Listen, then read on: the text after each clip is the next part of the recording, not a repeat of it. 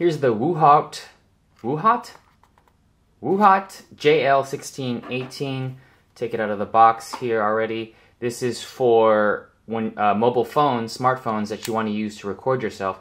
This is an all metal construction, and the difference between this and your typical spring loaded plastic ones are this is meant for more of a professional use when you're going to use smartphones uh, for photography or for video. Here is an iPhone 10 and it can hold it just fine. It's very grippy and it's locked in there, not going to go anywhere once it's in that grip. It's spring loaded from one side, not the bottom. Here are the measurements. It could take anything from a 2.4 to 3.7 inches. Probably with the 2.4, that's the way it is now, so it's got to be maybe a slightly bigger. But then it has these edges here that could possibly pick up smaller devices.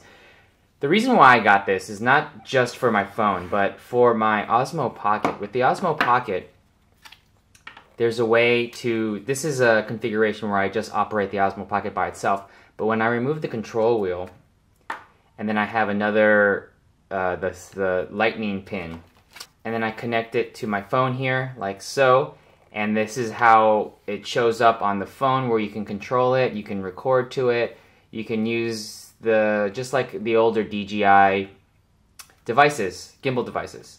But there's nothing to keep this to the phone except for that lightning connection. This is the only thing that's connecting these two devices together. So as I'm holding it, it just slips and it's bending something. I feel like it's not very stable.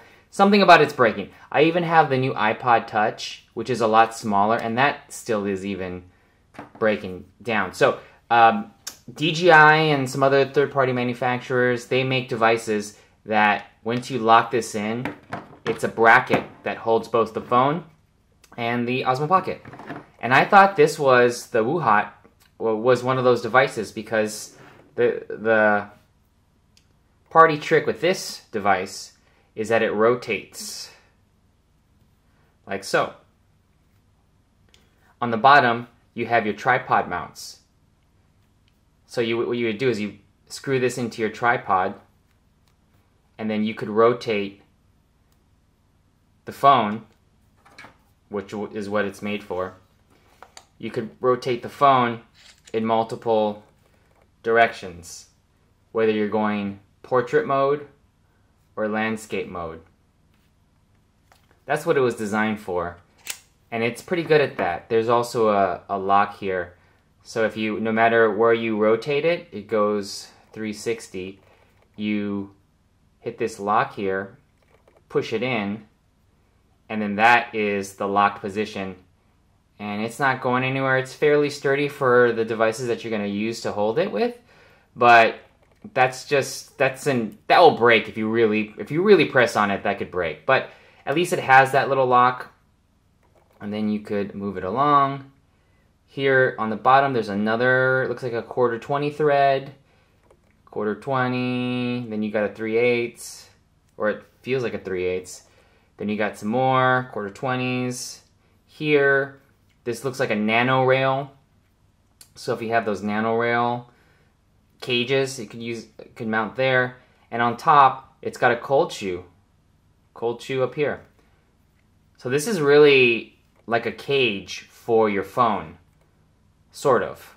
That can hold the phone and multiple other devices like a microphone attachments. There's pictures on the on the site. Uh, I got this on Amazon. There's pictures that can demonstrate its uses, but I got it for this purpose. So I thought there's a photo on on the website that has the phone connected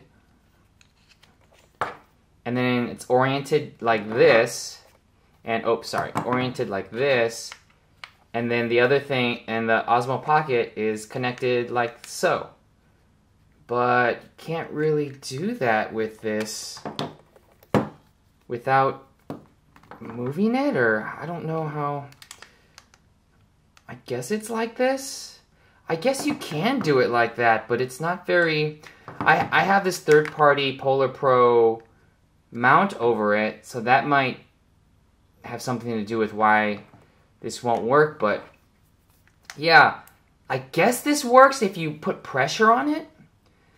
So you gotta you gotta really you gotta push the phone in, and then with just the pressure of this, it, it stands in. But it's still not secure like the other devices that can do this separately. That has a mount for the uh, the actual Osmo Osmo Pocket, and then the mount for the phone.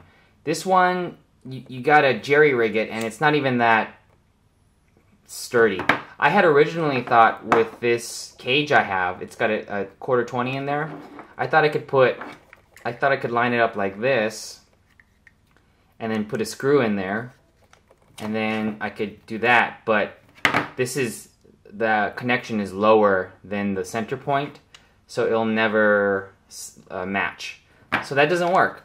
So if you want to get the Woohot for an Osmo Pocket and phone, this one's not going to work. But it will work if you just want to use it for your phone and have multiple devices. It looks like it's great for that. And only $20, uh, well, considering the other clips are much cheaper, they're under 10. But for what you're getting, I would get it, I would get this device if you are going to shoot a lot on your phone and have microphone attachments and lights and stuff. But if you're trying to use it for the Osmo Pocket, not going to work.